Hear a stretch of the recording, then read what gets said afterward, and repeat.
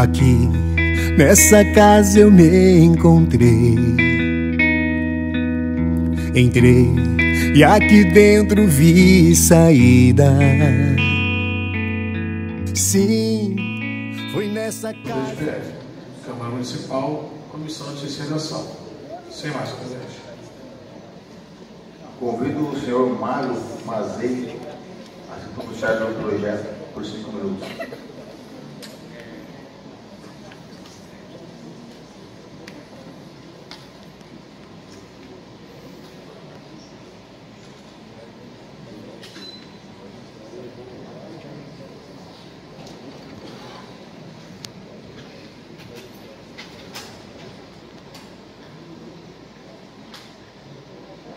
Excelentíssimo senhor presidente, nobres vereadores, em especial vereador Ita, senhoras e senhores e demais presentes, o nosso boa noite.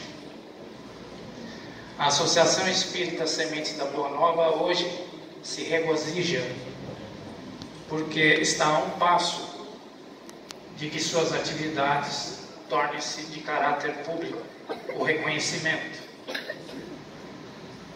e todos os seus voluntários que desempenham esse papel com nenhum sentimento que não seja o altruísmo, hoje estão muito contentes.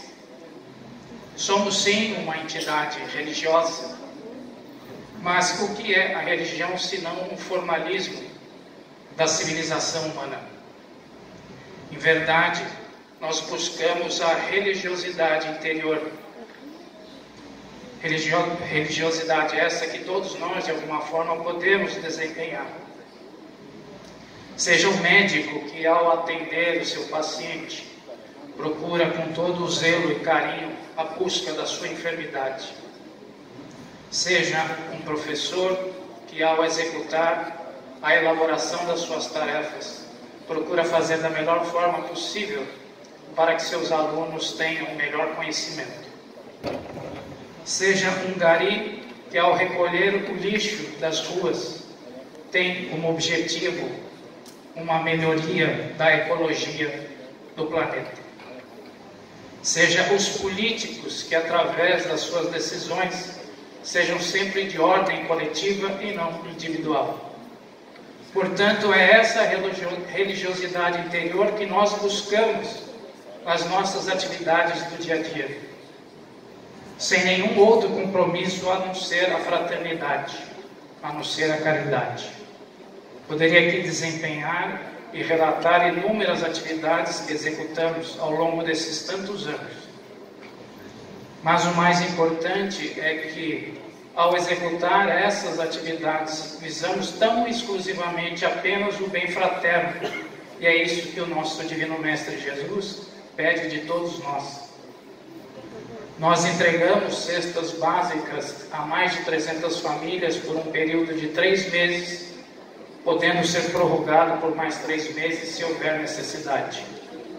Mas mais que a entrega do alimento sólido, levamos também o alimento espiritual através de conversas fraternas, apoio moral e tantas outras coisas que tantos nós necessitamos.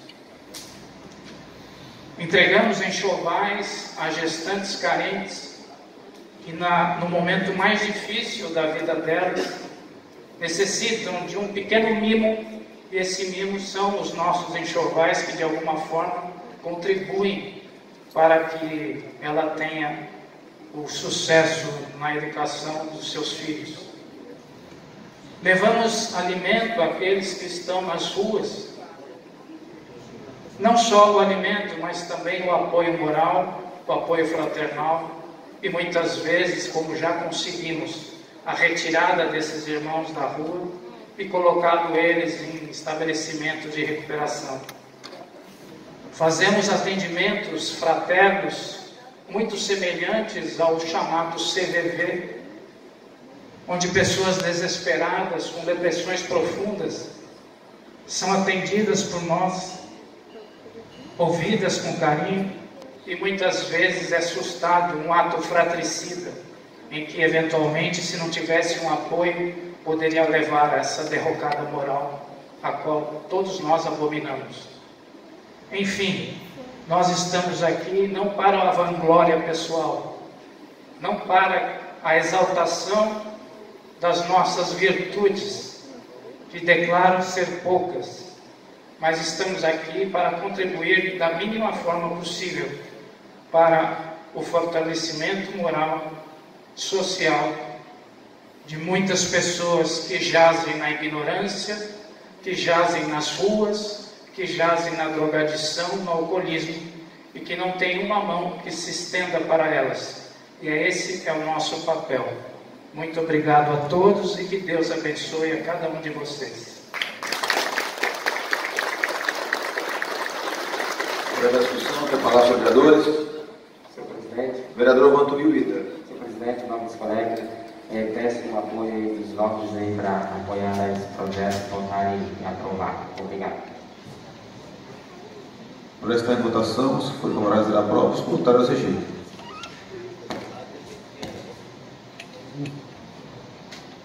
Vereadores Adão Pereira. Aprovo. Edelson Fernandes. Aprovo. Eugênio Zuberberg. Aprovo.